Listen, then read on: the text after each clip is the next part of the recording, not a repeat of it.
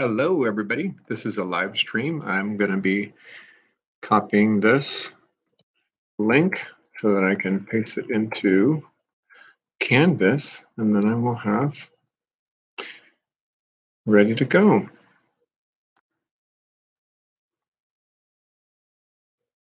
Okay. So, oops, let's go ahead and send out an email.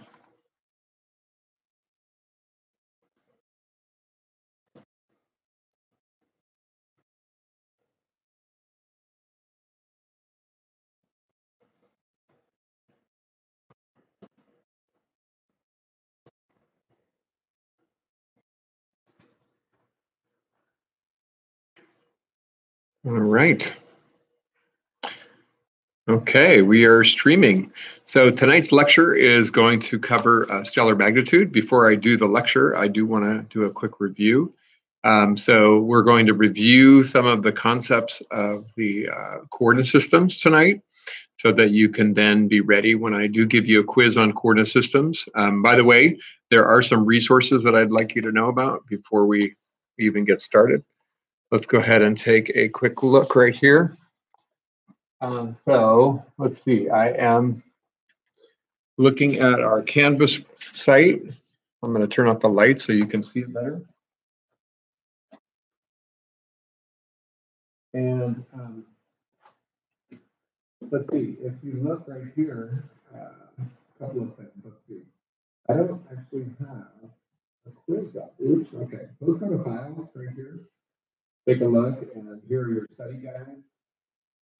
And you can find a coordinate systems, here we go, coordinate systems uh, file right here, which goes over all of the coordinate systems that we've learned about.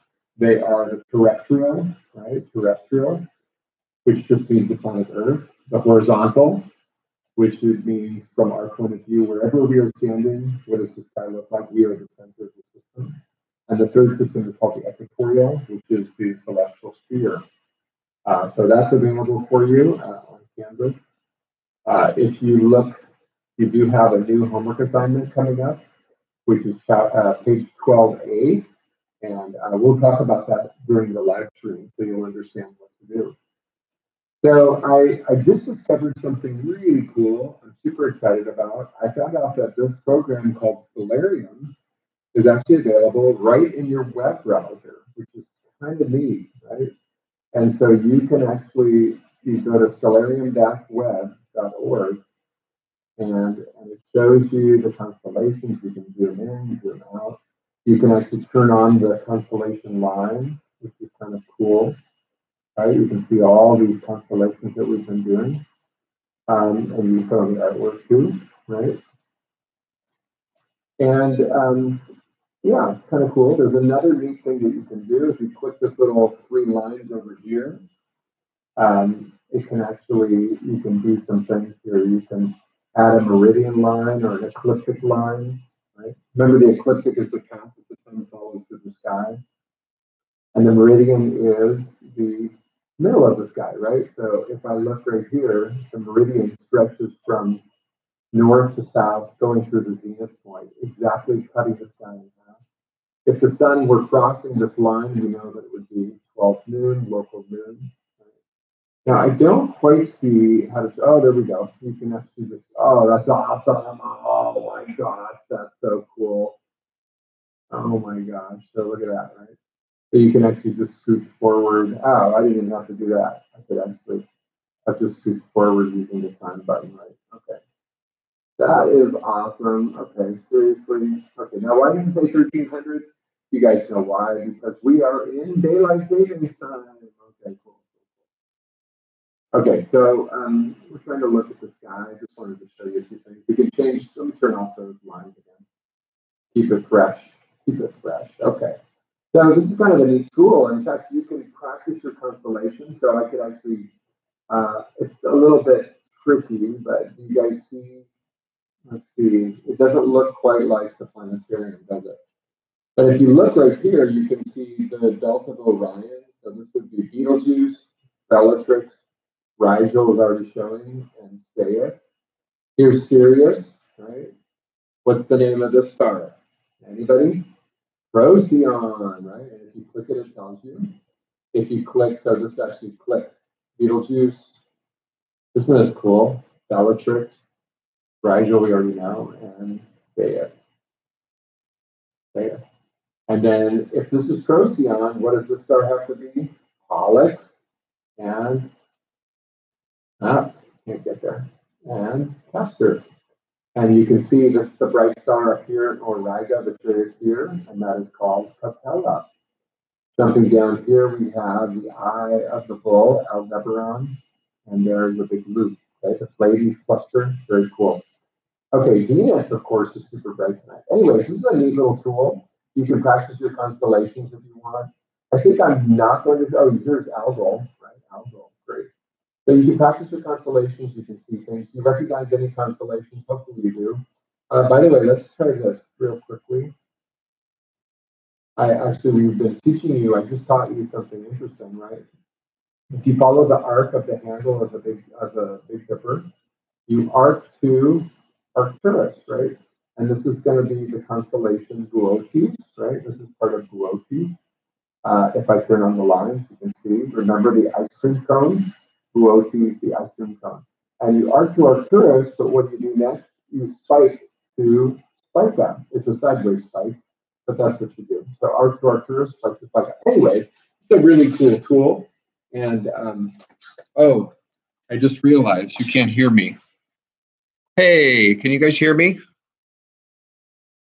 For that website. I did. I posted the link on the web. I posted the link on the assignment. Hello, Irvin. Hello, Bridget. Hello, everybody. Okay, so I just realized I don't have my mic. Would you like a mic? I think I need I need a mic. Give me a second. I'm gonna get my mic.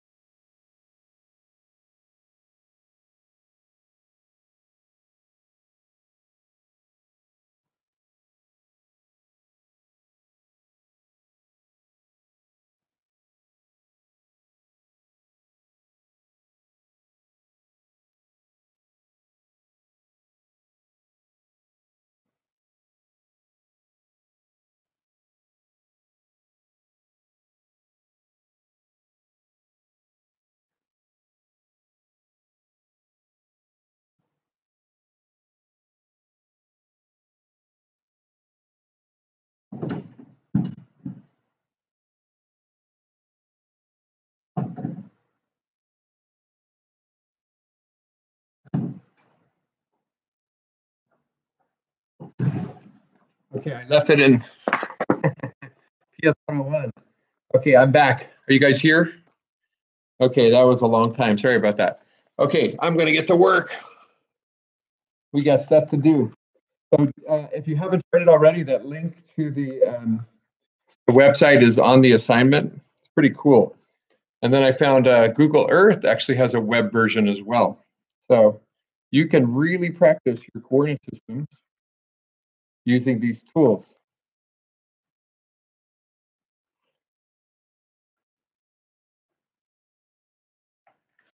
All right.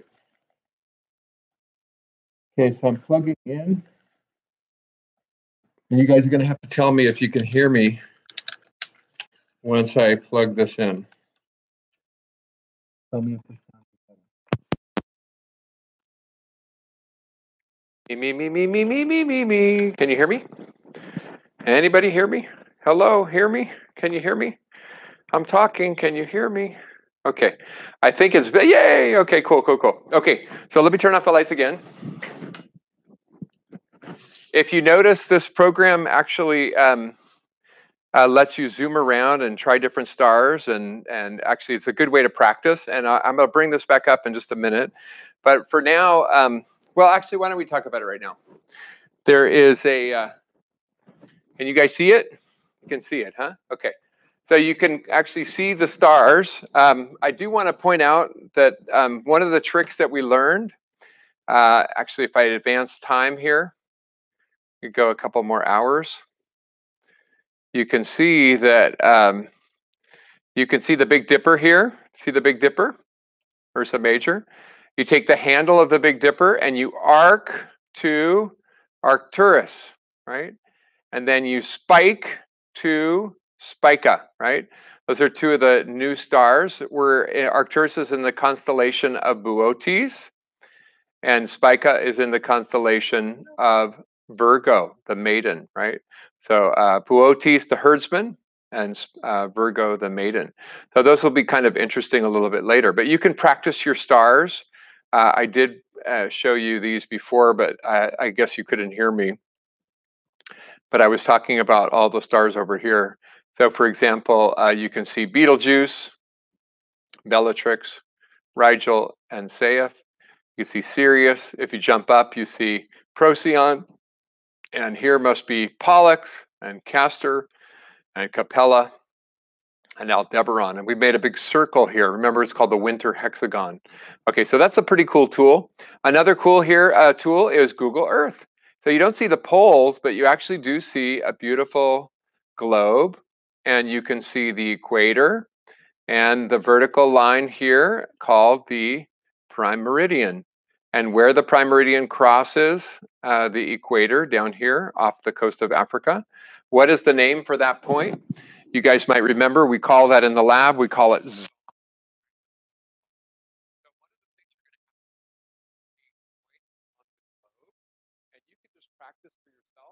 Uh, the spacing this grid is 10 degrees, right?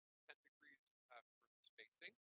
So if as long as you can see the reference point, I actually could drop a point over here somewhere. Actually, doesn't matter. Let's say right here. The location of this point? So where's my cursor right now? And so what you want to notice is this is the reference point, the origin. Can't hear me? No sound? Uh-oh, hold on.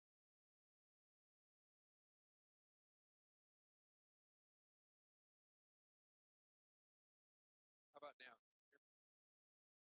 Okay, I guess I accidentally.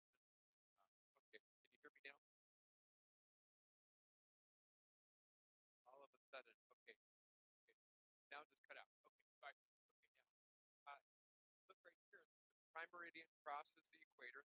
That's called right? That's the reference. direction you go. So if I point to the man, it's a little bright. Okay, is that better? Can you see the cursor? Oh, you can't even see it. Okay, hold on. Too bright.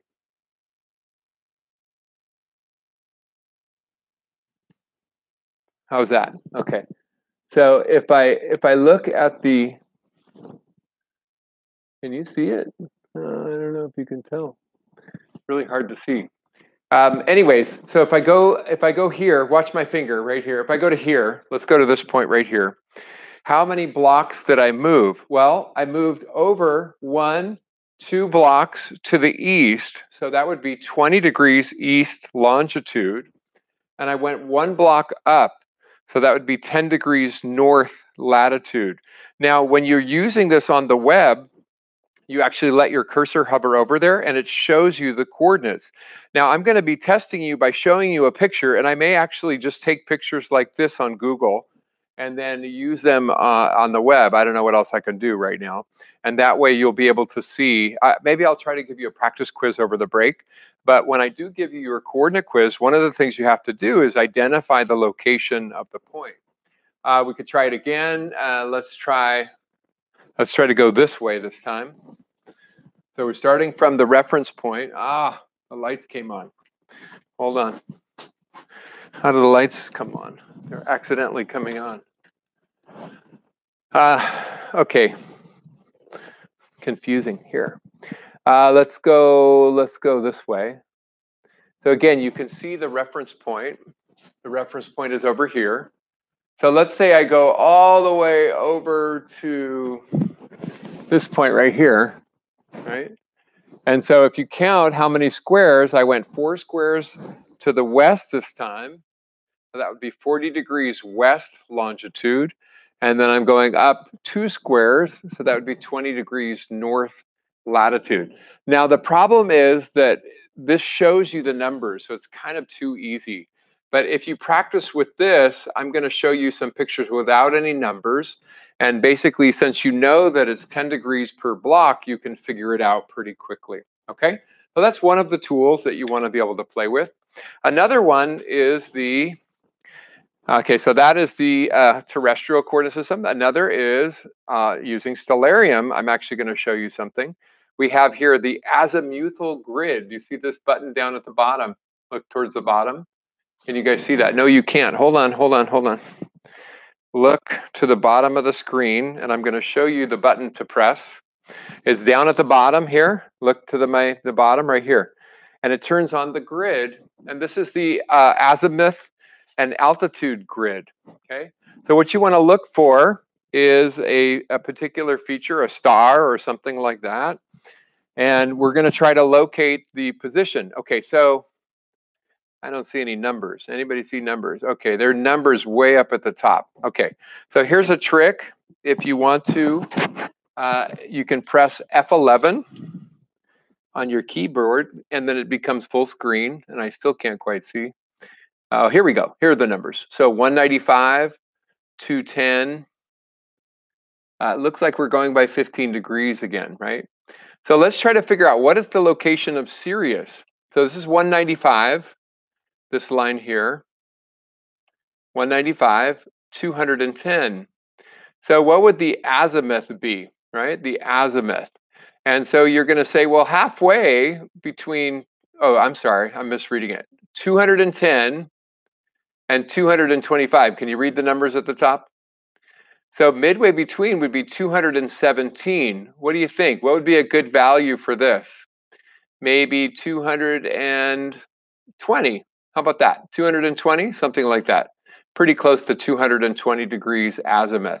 Now on the vertical, I can read this is 20 and this is 40. So it's between 20 and 40. What's midway between them going to be? About 30. So what would be the number here? Anybody want to figure that out? You might say something like, anybody got a number? Maybe 28 degrees, okay? Maybe 28 degrees. Okay, so if I click this, it's going to tell me the position. And sure enough, 220 degrees azimuth and 28 degrees altitude. So you can actually test yourself very quickly to see if you understand how azimuth and altitude works by using this application. So I would encourage you to try that out. I think it's actually pretty cool, pretty neat that you can do this. Okay, so I'm going to turn the lights on again. And actually, we're going to switch to your main topic. Okay, so the main topic of tonight and you want to take notes, please. So get out your notebook and uh, hit F11 again to get out of the full screen. And you can actually go to this uh, assignment here, and I have links to the Google Earth and the Stellarium web, and then I have the PowerPoint, and I have a PDF file if you don't have PowerPoint. Okay, so you'll take the quiz when you're finished, and this link is for this current thing that obviously you got onto. So if I click this, I'm going to download it. I've already downloaded it. So here it is right here. And I'm going to go ahead and start you off. So what you want to do is find um, a page in the back of your lab manual and start taking some notes. This is the notes on stellar magnitude, right? So you'll see at the end of the course, this is one of the topics that we were supposed to cover, and we're covering it tonight. So stellar magnitude means the magnitude of stars, right? And so um, how bright are the stars? That's the question. How bright are the stars? And we're going to answer that question in a quantitative way tonight. So number one, oh, it's a lot of words. Okay, take a look up there in the corner. The intrinsic, why are stars, some stars bright? There's two factors to think about. One is called the luminosity. So I need your help. Can you read this or not? Can you guys read it or not? Can somebody tell me? Can you read it or not? Because I could zoom in maybe or something. Anybody? Can you read it? Yes, you can read it. Okay. I can't read it. Oh, I can read it. Okay, good. Thank you. Uh, yes, I can read it. Okay, so luminosity is up here. Luminosity is the power of a star. And the other factor is D, distance, the distance from us. So what is a star's luminosity? A star's luminosity is the amount of light energy per second that is radiating from the star. The units of energy per second are called watts or capital W. Yes, just like a light bulb. In fact, some of the, the little joke that astronomers use is some stars are dim, are bright bulbs, and others are dim bulbs, right? So stars have, you can't read it? Okay. So what you can do is download the, the, the PowerPoint uh, and then you'll be able to read it. So don't worry, just you know, go look at it afterwards. I'm sorry, I, I can't get it much closer than this. I should have zoomed in though. Uh, I can read it just fine. Huh. All right, let me see. Maybe it's my lens. Is that any better? Maybe not. Okay, well, sorry about that. Listen to my voice then. So the closer you are to a light source, the brighter it will appear. The apparent visual magnitude, this is a word that we're, we're learning tonight, is related to how bright a star appears to us from Earth. The apparent magnitude is the mag- is the brightness from Earth. Okay. So here is a formula. Can you read this? Okay. The brightness formula is a measurement of, of intensity, actually, right? It's a measure of starlight. So it's called uh, the brightness. It's measured in, uh, so the luminosity is measured in watts. And, ooh, this is wrong. This, oh yeah, distance is meters. Okay but this is d squared. And so the brightness is the intensity, watts per meter squared. So stars are bright because they are close, or if they are very luminous, L is large. There's two ways. So in this formula, if D is small or if L is big, you get a lot of brightness. Okay. So you can you can get brightness in more than one way. Well, that's kind of a problem actually astronomers don't really like that. They want to be able to say, hey, this star is bright because, and give an answer. Uh, but it turns out you can't quite do that. So here we go. We're going to talk about history. And I'm going to tell you about this fellow by the name of Hipparchus. Okay. So apparently he was in uh, 190 to 120 BCE. And he created star charts and he actually indicated how bright the stars were. So this was a new thing. He not only made pictures of the stars and put them in, in their or, organized fashion, but he also described them as, as having levels of brightness. And in fact, he described uh, six different levels of brightness. Okay, so he he said he could see six families of stars, and he called the brightest one the first magnitude stars, and we kept that right. And then the dimmest that he could see, he called the sixth magnitude star. So his, this is the key thing with magnitude. It's a little bit weird. And really, I would say it's kind of backwards. The dimmer the stars are, the higher the magnitude number will be. That's a little bit backwards, right? But you have to get used to that. Uh, so the lower a number is, the brighter it is. The higher the number on the magnitude scale, the bright, the dimmer it will be. Okay. So these are some numbers, and I realized my graphic got chopped off. Oops. Okay. But I want to start off. Actually, you know what I want to do is actually maybe turn this off for a moment and then just tell you a little story. Okay, so I'm going to turn this off just for a moment and tell you a little story. Okay, so the story goes like this Hipparchus began with a scale that went from one to six, right? So, how does a number line work? You guys have seen a number line before. You know, you start with, you know, you got your one right here, and two right here, and three four, five, and six. Okay, so he saw a bunch of stars and he gave them numbers and they would be on the number line. But he apparently was not very well traveled because one of the stars that you and I know really well, Sirius, was not in his chart. And it's brighter than anything else. So what do you do if a star is brighter than a 1? Anybody have an idea? What could you do with a star that's brighter than a 1? Well, it's got to be lower. So what do you do? you can put in a zero right here. So now I want to share with you a few stars. So in your notes, I'd like you to make a note like this. Is there a star that we can talk about that has a magnitude of zero? And the answer is yes, there's a really famous star, and the name of that star is Vega. Now, Vega, you didn't learn this yet. It's really more of a summer star, but it's a really neat star. It turns out it will be our North Star one day in about 12,000 years. Keep that in mind. Uh, but in fact, Vega is a calibration star. It has a magnitude of zero. And so we use this when we do astrometry, when we measure the stars, we calibrate by knowing that Vega is a zero, we can then compare it to another star and say, hey, it's brighter or it's dimmer compared to Vega. Now, it turns out Vega is not the brightest star. So what do you do if you're getting brighter than a zero? You have no choice. What do you have to do? You have to go negative, right? So negative one, I'm still not to the brightest star. Negative two actually is too far, okay? So the brightest star, you know the name. The name is Sirius. That's something you need to know for your quiz tonight. So make sure you write that down. And Sirius has a magnitude of about negative 1.5. And that's the brightest star in the sky. So there is no star other than the sun, which is brighter than Sirius in our, and definitely not in the night sky. That's kind of like the brightest uh, star. Okay. Now there are lots of things brighter than stars, though. What what's brighter than a star? Not lots of things, a number of things. And one of them we've been seeing in the evening sky, super bright, hanging up there. Anybody know what I'm talking about?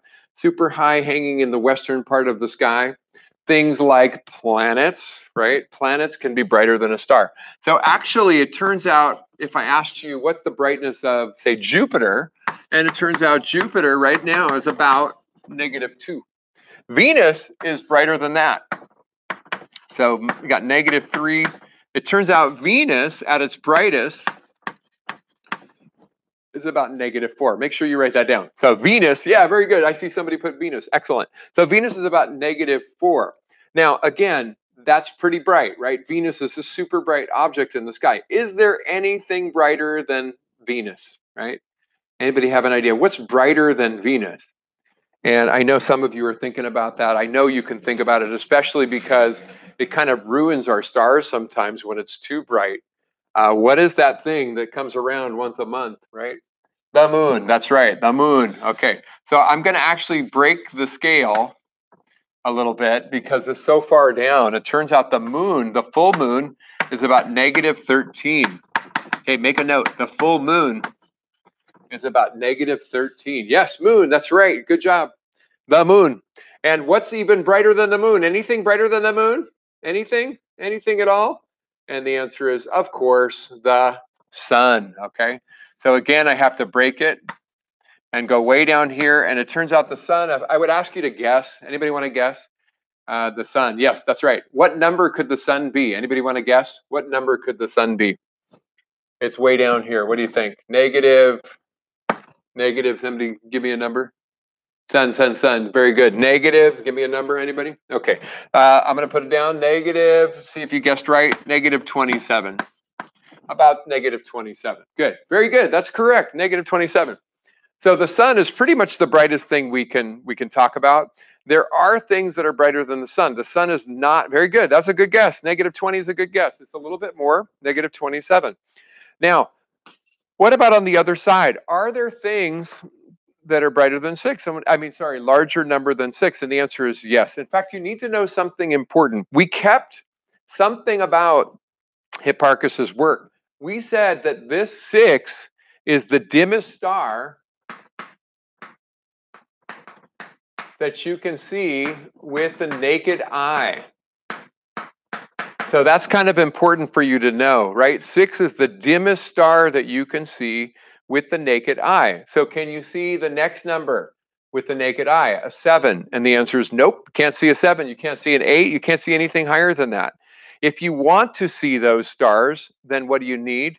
You need some help. Binoculars, or like we've been using, a telescope, right?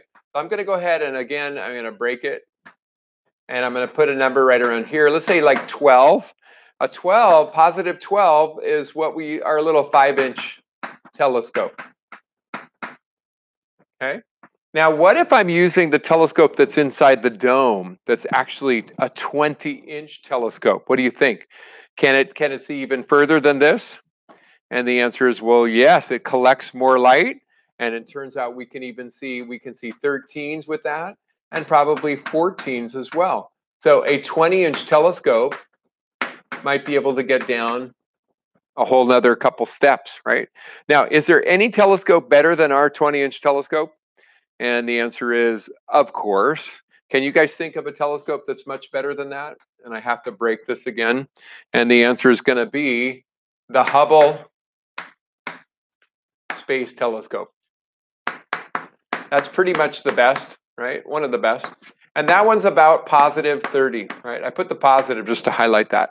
Can you read that? Positive 30? Let me turn the screen just a bit. Okay, positive 30, put that in your notes. Okay, the Hubble is about positive 30. So that's the range of magnitudes. It's huge, right? It's such a huge range that, um, yeah, it's kind of kind of crazy to be able to talk about such a huge range.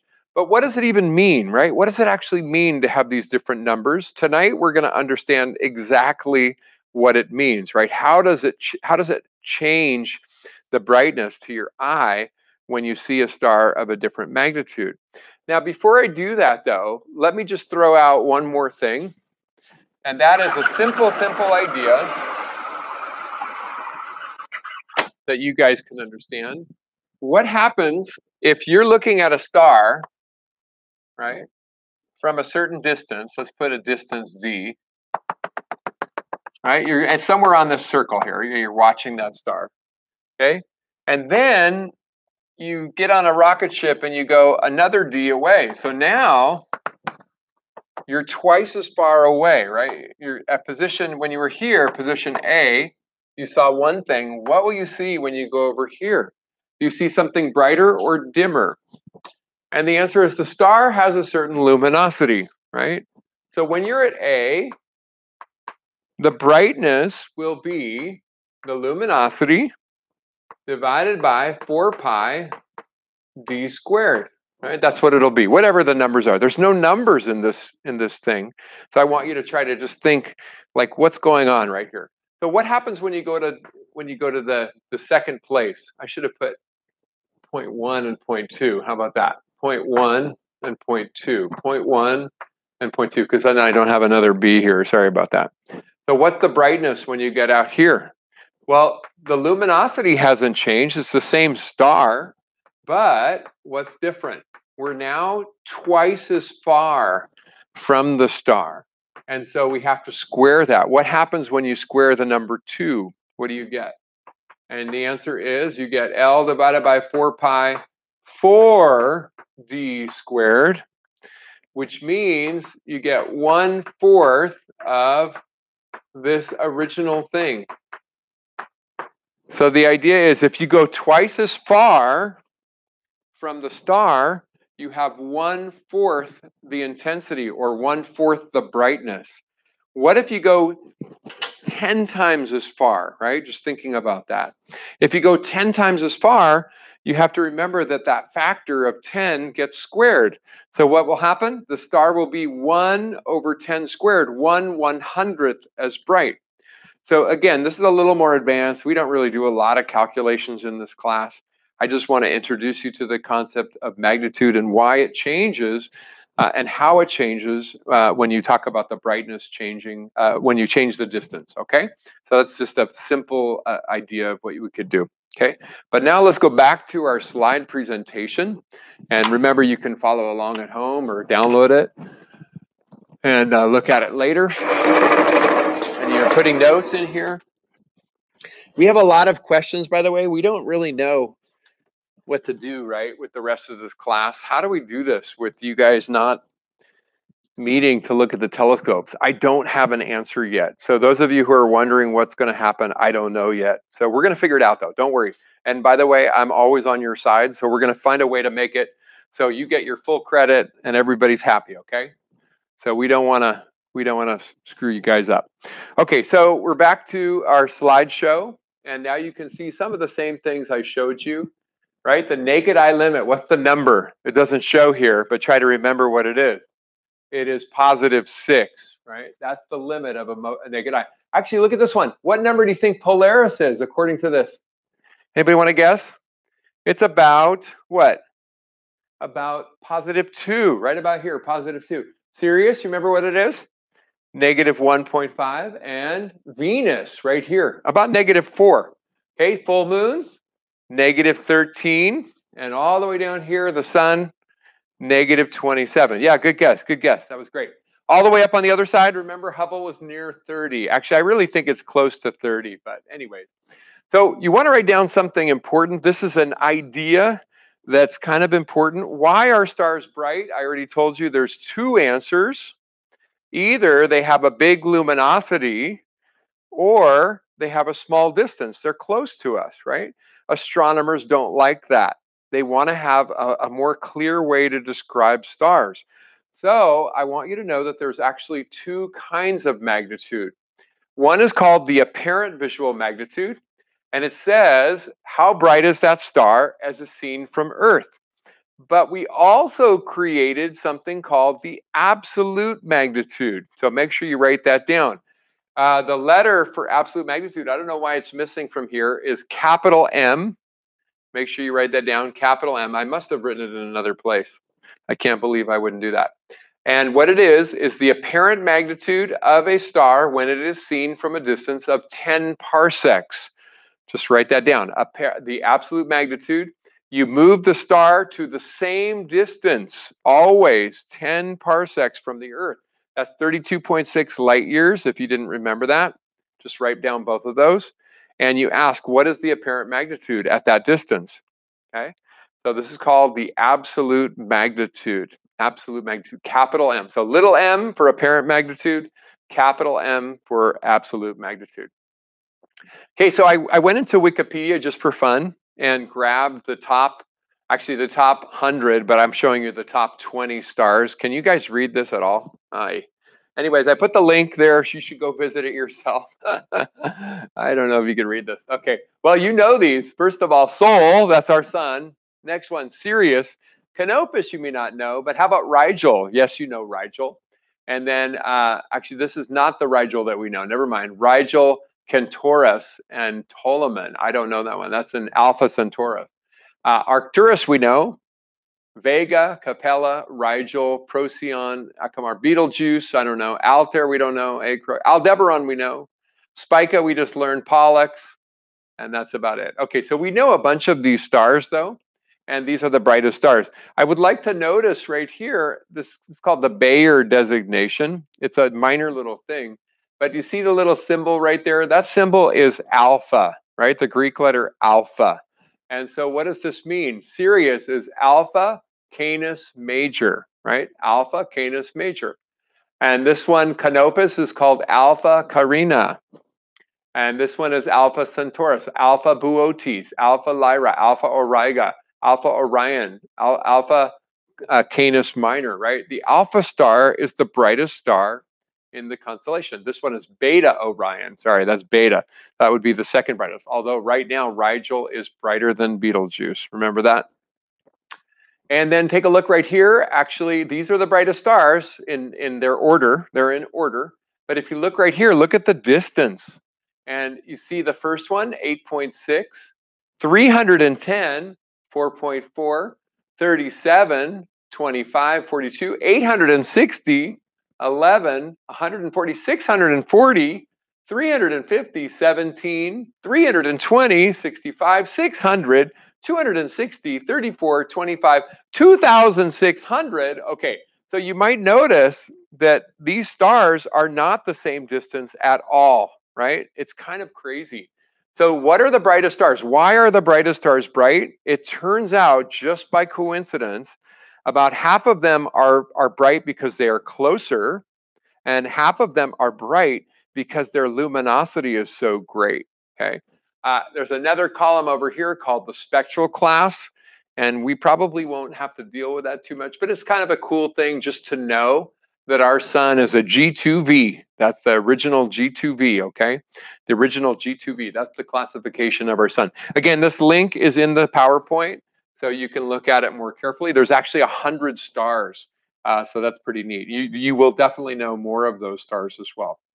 Okay, so let's take a look right here. Um, I'm going to ask you to learn the difference exactly numerically, not exactly, but pretty close, friendly, uh, uh, when the difference of one magnitude number, two magnitude numbers, and five magnitude numbers. I'm going to ask you to memorize this. So I'm going to give you the first one because you need to know, right? You just need to know.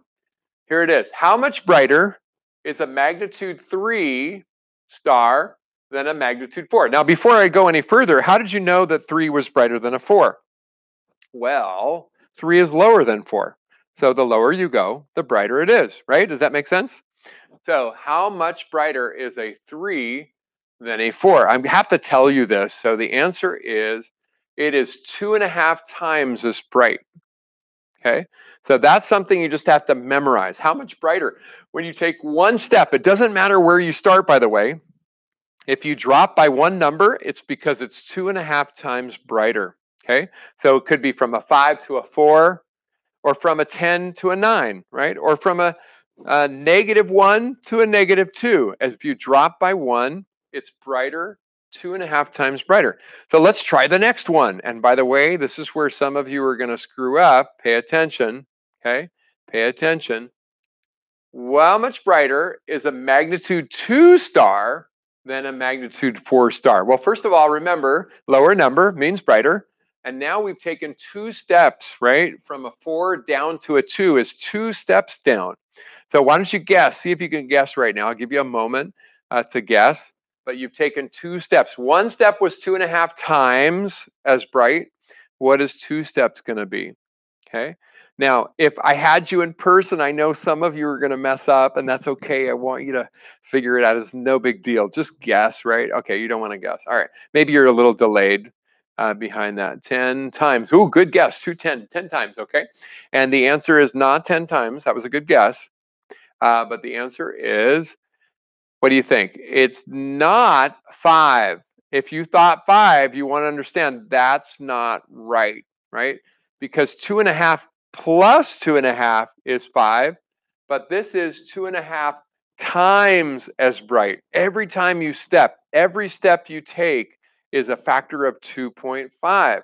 And so the right answer is 2.5 squared, 2.5 times 2.5, which is 6.25 times as bright. Okay. Now, that's not too bad. You memorized one step, you memorize two steps, and now you're like, why am I memor memorizing five, Sean? Because we want to do mental math, right? How much brighter? We're going to go back to the original numbers. How much brighter is a magnitude one than a magnitude six? Again, one is lower than six, it must be brighter. Now we've taken five steps, right? From six down to five is five steps lower.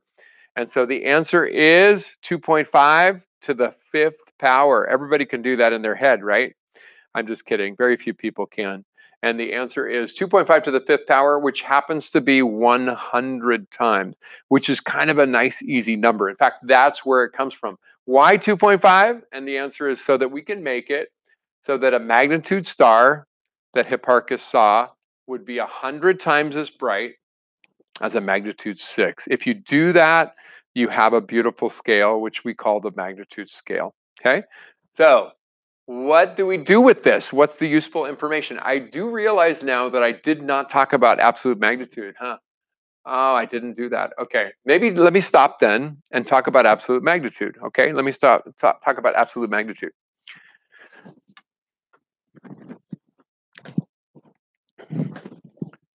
because I left it out.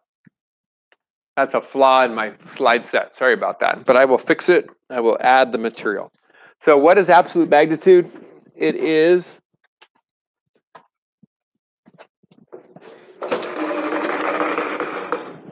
All right, let's fix that. Okay, so the absolute magnitude, the idea is that you no longer have to worry about the stars being different luminosities and different distances.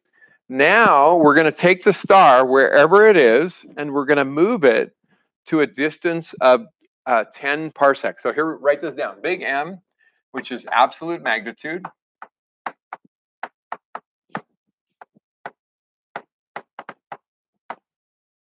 What is this? It's the apparent magnitude. I know, right?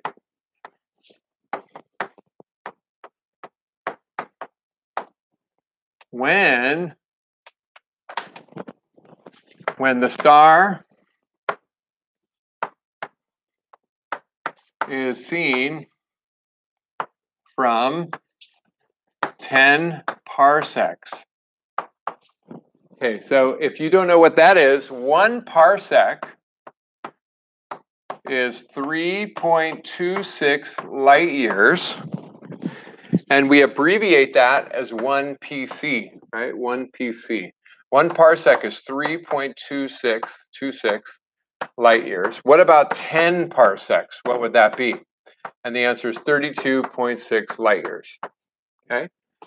So that's a that's an interesting thing. Why did we do that? Well, if you look at the formula for brightness, and and before we had this problem where you had you have different luminosities, you have different distances. What happens when you do absolute magnitude? And the answer is you don't have different distances anymore. So in the absolute magnitude scale, if a star is is brighter or has you know more more intensity, it is because it has a greater luminosity. So that will be a lower capital M. Capital M will be a lower number. Okay. So how does this work? What do you have to know? You don't have to know a lot, by the way, but I do want to teach you just a little tiny bit about that. So before I go any further, let me ask you a question. Is it possible that a star could um, could be 10, 10 parsecs from us? Could it already be 10 parsecs from us? And what would that mean, right? What would it mean if it was 10 parsecs from us already, right? So if, let's suppose here we are on Earth, right? Here's on Earth, and there's a star over here, and that star is 10 parsecs, oops, not 12, 10 parsecs from the Earth, right? And I tell you the magnitude, right? I tell you the magnitude. Um, the magnitude is positive, positive one. Okay, the magnitude, the little m, the apparent magnitude is little m. What is big M? Right? What's big M? Well, it's already 10 parsecs away. And so what's the answer? What's the answer, huh? And the answer is it's the same number, right? It's the same number. So wait, so that if the star was already 10 parsecs, then these two numbers match, right? These two numbers are going to match. What if that star was a different, let's try something different, right? Let's try, let's suppose it's at uh, five, you know, well, actually, you don't have to know that. Uh, how about one parsec? Yeah, this is something that we could do. One parsec. Suppose it's one parsec. And the number here, the magnitude is uh, positive 2, like that. Okay, positive 2. Right? Everybody good? That's positive 2. What's going to happen when, when I talk about the absolute magnitude? Well, where does it where do I have to move the star?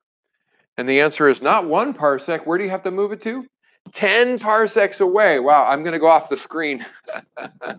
okay, I can't do that. Let's just pretend that I went that far. Let's go 10 parsecs now. All right, the star has moved to 10 parsecs. So what do you notice? It's a lot further than before. What's going to happen to the brightness, right? So what just happened? We went from one parsec to 10 parsecs, right? So this one, the brightness was whatever the luminosity was over 4 pi times 1 parsec squared. But here, there's going to be 10 parsecs squared, right? So what's going to end up happening? You're going to get 1 over 10 squared, 1 100th L over 4 pi 1 PC squared. it's going to be 1 100th as bright. So do you remember that factor of 100? That's what happens. You change by a factor of 100, you change the magnitude by five numbers. So what should it be if you go further away? Should it be brighter or dimmer? Okay, number one, what should it be, brighter or dimmer? And the answer is, of course, dimmer, right? So, so what should happen to the number? Should it go up or go down? And the answer is to be dimmer, you have to go up. So I'm going to go over here and I'm going to tell you that the absolute magnitude is five magnitude numbers higher because of this factor of 100. It's going to be positive 7, like that. Okay, yep, you go up. Very good, good, good, good. Okay, so Peter, don't worry. Um, by the way, you should go back and watch the beginning because there is some information that you missed and just make sure you get the whole thing, okay? Uh, but anyways, so the magnitude, the absolute magnitude can be bigger if you started closer than 10 parsecs. But what if, what if uh, the star started closer, uh, further than 10 parsecs? Maybe, maybe the star is, maybe the star is 20 parsecs from the Earth already, right? Maybe the star is 20 parsecs. 20 parsecs. And it has some magnitude. What's going to happen if we bring it to 10 parsecs? What's going to happen? So if I put m equals positive 2, this might be a little too much work, huh? Ah, it's not going to be easy. I picked I picked a hard number. Let me pick um let me pick an easier number. How about um well, 100 parsecs would be easy. That would be easy. You want to try that one? Let's try that. Suppose it starts at 100 parsecs. Then what happens when you bring it to 10 parsecs, right? Now, instead of it's going to be just 10 parsecs, it's going to be 10 times closer. It's going to be a 100 times as bright. So if the magnitude is positive 2 here, what would the absolute magnitude have to be? Well, it's going to be a brighter star because it's so much closer. And 100 times brighter is 5 magnitude steps. But this time, because it's brighter, we're going to step down. And so the answer is positive 2 down 1, positive 1, 0, negative 1, negative 2, and negative 3 would the answer be. Okay, that's actually a little too advanced. Don't worry about it. Okay, good. Yes, Peter, you got that. Okay, so now what do you want to know, though? Let me just tell you what you want to know. Let's take our little sun, our beautiful little sun, our Sol, right? Our Sol, right? Well, the, the apparent magnitude is negative 27 what do you think the absolute magnitude would be? A bigger number or a smaller number? Which one? Is it going to be lower and more negative or higher? Which one? What do you think? And the answer is we're going to move it from 1 AU to 32.6 light years. What do you think happens? It's going to go up, right? It's going to go up. And the answer is what is the absolute magnitude of our sun? Positive 5 it's a big change. In fact, positive five. Think, tell me about that. Is that a very bright star or not a very bright star? And the answer is well, it's almost six, which is the dimmest star we can see. Our sun is not a super bright star, right? It's kind of like middle of the road. Okay, it's not the dimmest star either, but it's definitely not the brightest star. Okay, so I have corrected my little uh, mistake, and now I've added in a little bit of information on absolute magnitude. Let's go back to the slide set and finish this up. So what you're going to do with this information is I'm going to ask you to do some homework, but you have a little you have a little time. You have a couple weeks, okay? But I, I want to tell you about it, and I'm going to actually go over something with you tonight to help you see how it works. And the page that we're talking about is page 12A, 12B. So if you can open up your lab notebook to page 12A, 12B then you can follow along with me. You'll understand what I'm talking about. Okay.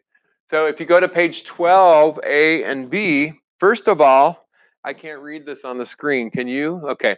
I can read it up here, but anyways, um, there's a whole bunch of letters A, B, C, D, E, F, G, H, I. And the question is, which ones do you have to do? Well, number one is the northern circumpolar constellations. What do you think? Yes, you got to do those. Okay. How about B, Boötes, and a little tiny piece of, um, of the Big Dipper, by the way, which allows you to arc to Arcturus, spike to Spica? And the answer is definitely yes. How about Leo and Cancer? What do you think? Yes. How about Gemini, Auriga, Taurus, Orion, Canis Minor, and Sirius? Yes. Okay. How about Perseus, Triangulum, and Aries? Yes. How about Cygnus, Lyra, Delphina, Sagitta? Nope. How about Pegasus and Andromeda? Not anymore. Capricorn, Aquarius? Nope. And Scorpio, Sagittarius? Nope. Okay, so you have to do A, B, C, D, E, and that's worth um, you know 10 points. So please try to do your best. But what your goal is is to use the numbers that they give you to figure out the numbers, the, the stars that are not listed. Okay, so I'll show you that in just a moment. Actually, in fact, right now, with, uh, oh, let's talk for a second here, okay? So how are you supposed to do this? You don't have to worry about the 2.5 very much. What I want you to do is compare two stars and ask, first of all, are they the same, right? If they're the same brightness, so you're gonna, for each constellation, use the reference star magnitudes to estimate the magnitudes of the others. Okay, so if you see, if they give you a number in the constellation, you're going to look at that number and you're going to ask, well, how do the other stars compare? If they're the same brightness, then you just copy the number, right? Just copy it. They're the same, they're the same magnitude. If the second star looks twice as bright, right? And that's good enough. It doesn't have to be 2.5. We're going to just be approximate, right? If it looks to your eye like twice as bright, then you're going to lower the number by one, right? You're going to drop it because it's brighter. And the other way, if the second star is half as bright, then you raise the number by one. If it doesn't look like it's that much, right, but it's closer than that, then you can maybe um, raise it or drop it, drop it by a half Okay, but that's it. Never try to do better than that. So if I see you putting 2.1 or something like that or 1.46, I know that you cheated and please don't bother. I don't care if you cheat. Why cheat? Just go out and look at the stars and try to estimate. I'm going to practice with you so you understand how easy this is. It's not meant to be really difficult.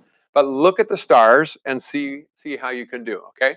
Don't try to be too precise. That's a sign that you cheated, okay? Because you can go look up the numbers, but I don't want you to. I just want you to try it, okay? So I have a, uh, a constellation. I don't know if you can see this. I'm going to have to sketch it out for you. Uh, there's Polaris, though. Everybody knows Polaris, okay? Okay, all right. So I'm going to show you. Um, I'm going to sketch it out here. Can you see the red light? Oh, yes, you can. So from Polaris, we're going to come down and here are the stars. And then this is the dipper part. This is the dipper.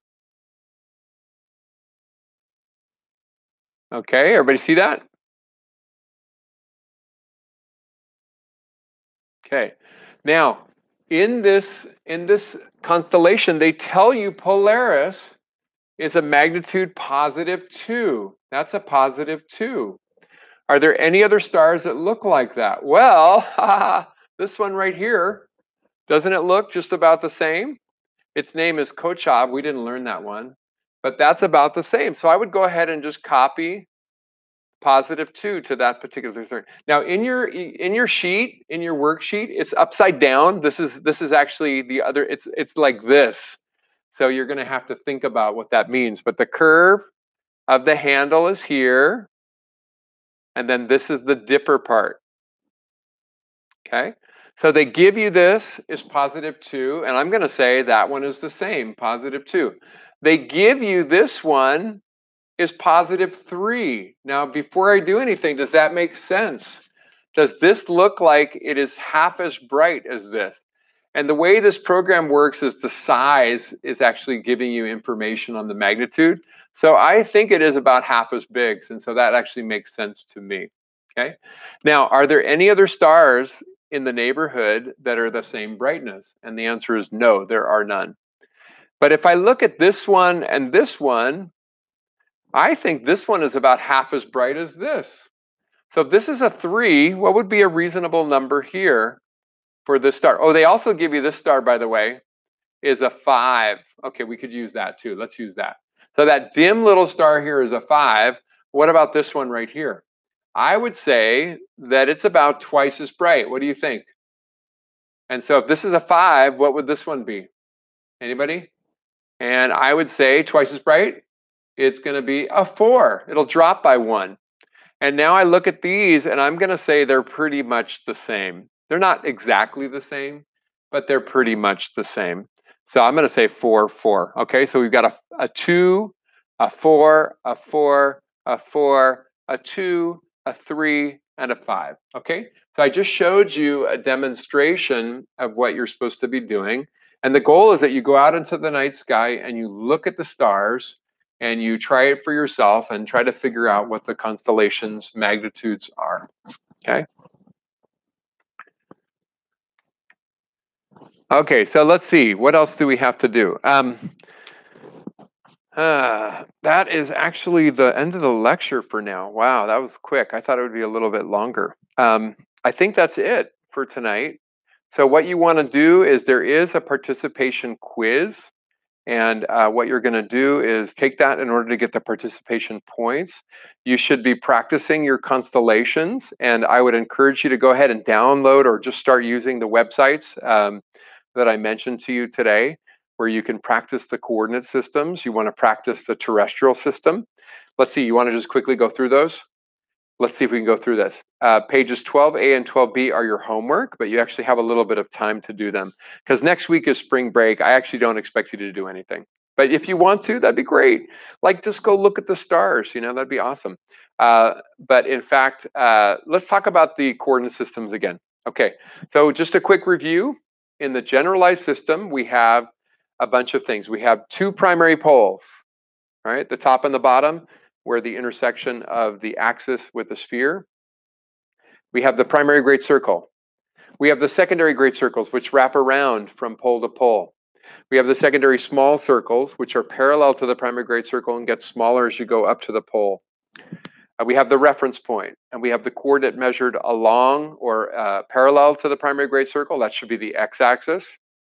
And the coordinate measured perpendicular to the primary great circle, that should be your y-axis. Okay, that's the general thing. In the terrestrial system, what do you call the two primary poles? North Pole, South Pole. What do you call the primary great circle?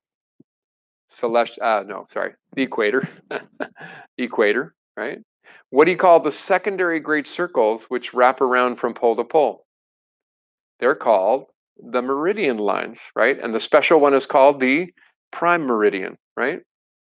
When are 12 go look look on yeah, 2 weeks from today. That's right correct. Two weeks from today uh, is 12A and 12B.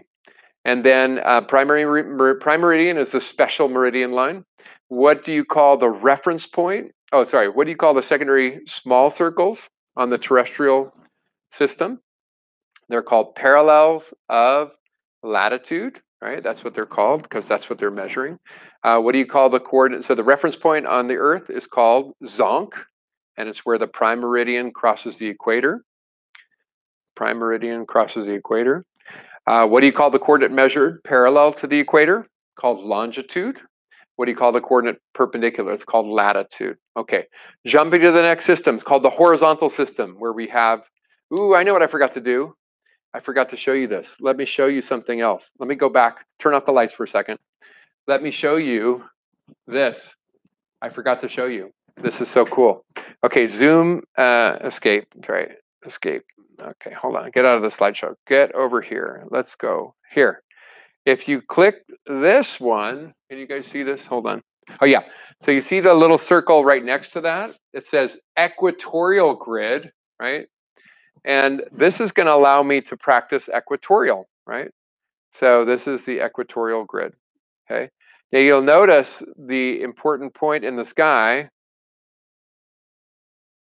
right? This is Polaris right here. This is the North Celestial Pole. So you can actually see, right, the stars are rotating around. Oh, that got bright. Okay. There's a way to turn off atmosphere. Here we go. Turn off the atmosphere, and then you can just see the stars rotating around, right? And so that's rotating around Polaris, okay? Um, and then, what do you, let's rotate to the south here. When you look at this, you want to notice there are, um, let me go ahead and make it full screen again. F11. F11 to make it full screen. If you look along here, you'll notice that there are hour lines right here. So this is the 15 hour line. This is the 14 hour line. And so when I look at this, actually, you can kind of figure out what do you think you would say about Arcturus? So it's between 14 and 15. It's not in the middle. By the way, if it was in the middle, what would it be? It would be 14 hours and 30 minutes. But it looks like it might be in the middle of the middle, right? Or about one quarter of the way across. So what would be a good estimate? Well, I'm going to say 14 hours and about 15 minutes of right ascension. That's called right ascension. Uh, looking along here, I have to look for some lines here. That's positive 40. This is positive 20. I'm going to say it's like positive 19 right here. And so if you click on it, it's going to actually tell you the coordinates and see if I was correct. Okay, so I said the right ascension 14 hours and 16 minutes. That's pretty close to what I said, right?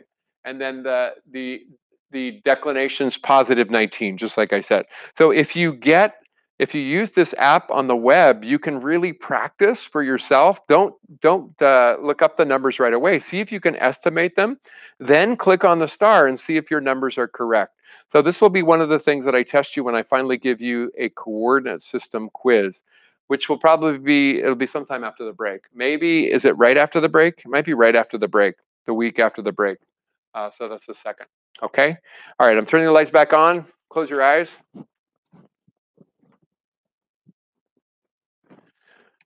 Okay, ladies and gentlemen, that's all I have for you tonight. So um, thank you very much for coming. And please look at the stars, practice your constellations, practice what we just talked about tonight. And now you have a new homework assignment for after the break. Okay, please take care of yourself. By the way, you guys are in a vulnerable group. Uh, you want to be just careful, okay? It turns out uh, we just found out tonight that a City College student tested positive, uh, and you know, it was only in one class, so that's good, but um, it's also a City College student. So just take care of yourself. Please be careful and uh, come back healthy and happy so we can enjoy ourselves and after the break. Okay, so thank you so much and good night. Bye.